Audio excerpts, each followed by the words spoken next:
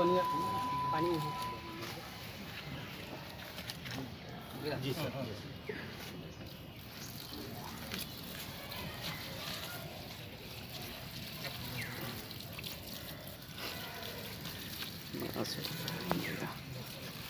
सावन का ये अपने आप ही लग जाएगा हाँ अभी मिट्टी में नमी है। छोड़ दीजिए टॉस जाएगा सर अब सर आज आपका जन्म दिवस है सर। इसके मौके पे आपने वृक्षारोपण किया। क्या कुछ उद्देश्य है क्या मकसद है? क्या संदेश है? पूरे दुनिया में जलवायु परिवर्तन हो रहा है। हम्म, और ग्लोबल वार्मिंग के चलते मौसम इस कदर बदल रहा है। कि समय से पहले बारिश अधिक बारिश का होना जा करके जिससे कृषि के क्षेत्र काफ़ी प्रभावित हो रहे हैं जा करके तो पूरी दुनिया तबाह है जा करके आज ज़रूरत है कि पर्यावरण को संतुलित करने के लिए आज पूरे दुनिया के स्तर पर, अपने देश में जाकर बिहार में बड़े पैमाने पर वृक्षारोपण का कार्यक्रम चलाया गया है।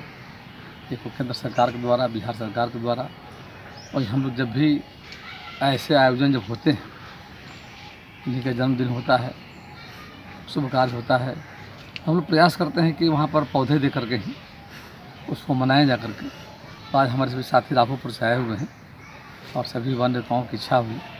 कि आज आपके जन्मदिन पर एक वृक्ष लगाया जाए और फिर जामुन का वृक्ष जाकर मुझे काफ़ी खुशी हो रही है पेड़ लगा करके ताकि आने वाले समय में इस जामुन से क्षेत्र का पर्यावरण संतुलित होगा और इसके फल से लोग लाभान्वित होंगे।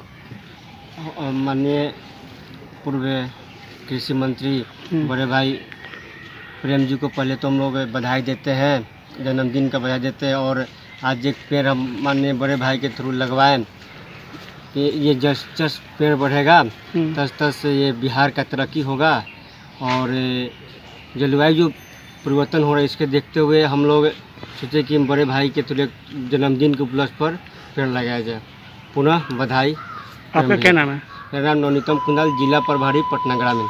अपने राजनीतिक गुरु अ, बिहार के क्षत्र नेता आज़ाद शत्रु डॉक्टर प्रेम कुमार को उनके छियासठवें जन्मदिन पर अ, हार्दिक बधाई और ईश्वर से कामना है कि वो दीर्घायु हों और स्वस्थ होकर के जनता की सेवा करते रहें।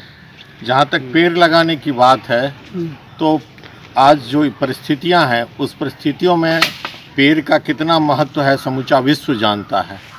एक पेड़ प्रति वर्ष 80 टन कार्बन डाइऑक्साइड सोखता है 60 टन धूलकण को सोखता है। और ध्वनि प्रदूषण को भी कम करता है। और मानव जीवन में अभी कोविड काल में पता चला कि ऑक्सीजन की कितनी अहमियत है। एक सिलेंडर का दाम तेरह चौदह सौ रुपये पड़ता। प्रत्येक दिन आ, हम लोग तीन सिलेंडर ऑक्सीजन ग्रहण करते हैं। और पूरे जीवन में अगर पेड़ की सारे आ, आ, जो लाभ हैं उसको अगर जोड़ा जाए तो लगभग लगभग पचासी करोड़ पचासी करोड़ रुपए का एक पेड़ से लाभ मिलता है, ऑक्सीजन से लेकर के कार्बन डाइऑक्साइड को सोखना, फल, फूल, लकड़ी। तो पेड़ का कितना महत्व है और पर्यावरण जो अभी हमारे नेता करते पर्यावरण जो परिवर्तन हुआ है, वो सिर्फ़ जंगलों की कटाई से, अंधाधुन औद्योगिकरण से, एसी फ्रिज के इस्तेमाल से।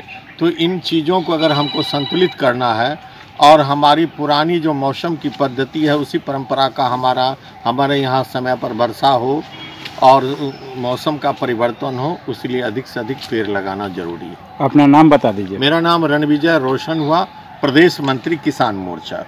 सबसे मेन आदमी